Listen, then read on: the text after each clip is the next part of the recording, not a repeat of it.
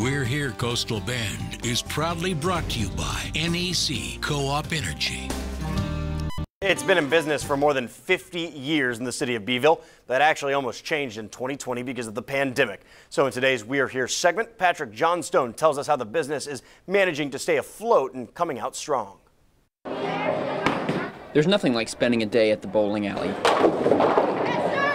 But in 2020, the lanes almost closed at the Bee Family Fun Center. Without the government assistance, I, I don't know how how we would have survived, to be honest with you.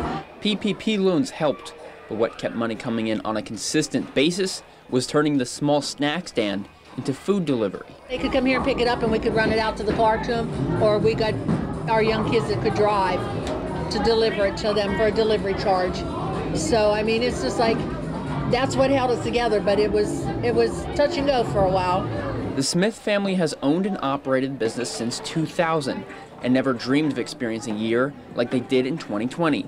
We've never been this focused before on the finances to, just to make sure everything works, that's for sure.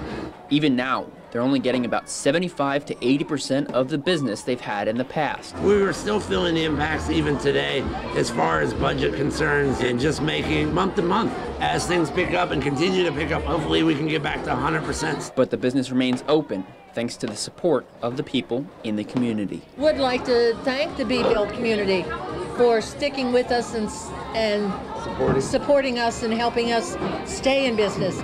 Reporting for We're Here, Patrick Johnstone, 6 News.